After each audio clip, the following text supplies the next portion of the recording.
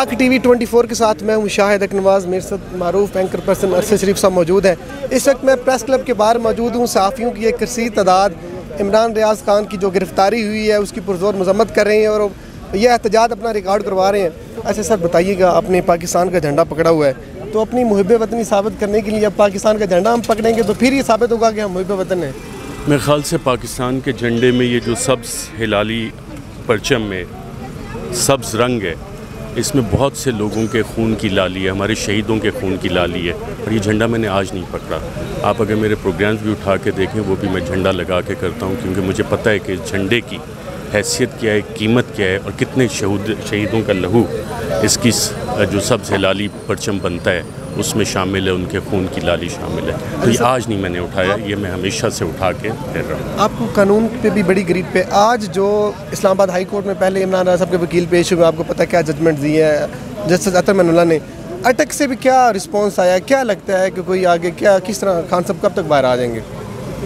देखिए, इमरान रियाज साहब का आज इस्लामाबाद हाई कोर्ट में बताया गया जो रिपोर्ट पेश हुई कि पंजाब की जुरिस्डिक्शन बनती है, इस्लामाबाद हाई कोर्ट की जुरिस्डिक्शन ये तो लाहौर हाई कोर्ट को उनके वकील को कहा गया, आप अप्रोच करें। तो जो अटक पुलिस ने गिरफ़्तार किया था, वहाँ जो मजिस्ट्रेट साहब ने इसकी समात की है समात में काफ़ी सारे दलाइल भी हुए और उसके बाद उन्होंने कहा कि उनकी भी जो दायरा इख्तियार है वो नहीं बनता और जो ऑर्डर्स हैं सुप्रीम कोर्ट के, उसके मुताबिक एडिशनल डिस्ट्रिक्ट एंड सेशन जज रावलपिंडी में वहाँ पे ये केस लेके जाया जाए और रात तक इमरान रियाज को वहाँ ट्रांसफ़र किया जाए। और अब इमरान रियाज के केस का फ़ैसला जो है वो लग ये रहा है कि पिंडी में होगा। आपने एक सवाल बड़ा ही उठाया वो कौन था? हर ज़बान जद्याम बल्कि बच्चा बच्चा वो सवाल कर रहा है कि वो कौन था।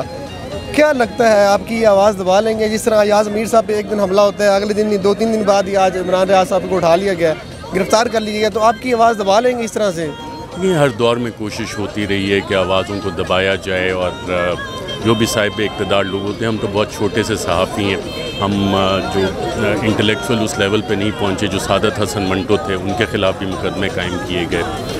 फैज़ अहमद फैज़ साहब, उनके ऊपर भी मुकदमे कायम किए बड़ी शख्सियात थी हबीब जालिब साहब, उनके ऊपर भी मुकदमे कायम किए गए। उसके बाद अहमद फराज साहब मुहासबा उनकी नज़म थी, वो उन्होंने मुशायरे में पढ़ी, अगले दिन वो गिरफ़्तार हो गए। तो सहाफ़ी हम अपना काम करें, जब इतनी बड़ी बड़ी रवायात हैं और जिस किस्म के मुकदमे कायम किए जा रहे हैं, बगावत के ये वो मुकदमे हैं जो कि तमाम चीज़ें कानून में उस पर डाली गई थी जब 1857 की वॉर ऑफ़ इंडिपेंडेंस हुई थी जंग आज़ादी हुई थी।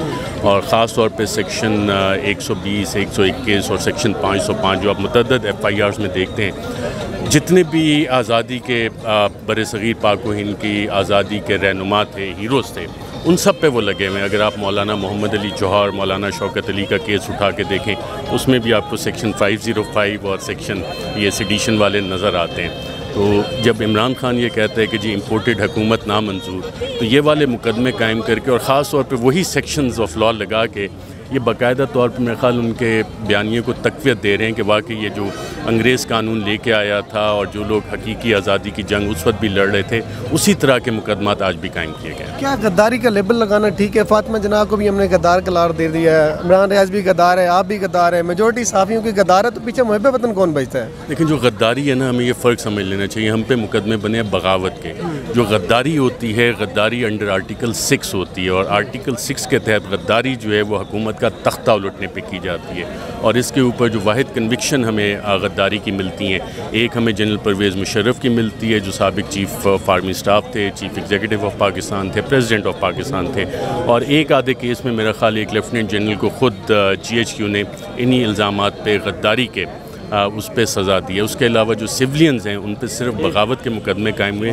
हम ये सटल डिस्टिंक्शन जो आइन पाकिस्तान में दी गई है और जो कवानीन में उसको भूल जाते हैं। बड़ा कन्वीनियंट होता है उस पर कहना जी गद्दारी और बगावत लेकिन लीगली बड़ी फ़ाइन डिस्टिंक्शन है और हिस्टोरिकली भी ये चीज़ें साबित हुई हैं। साबित कदम रहेंगे, आपके साथ आवाम खड़ी है, पूरे साफ़ी बरदरी भी आपके साथ है, आप पे एफ़ आई आर को कंडेम करते हैं। क्या मैसेज देंगे हमारी पाकिस्तानी यूथ को? हालात आपके सामने महँगाई डबल हो चुकी है। यकीन करें, लोगों के पास कुर्बानी खरीदने के भी पैसे नहीं और लोग सिर्फ़ हमारे हुक्मरानों की तरफ़ दे रहे हैं, देख रहे हैं और क्या समझते हैं कि कोई तब्दीली आ सकती है पाकिस्तान में?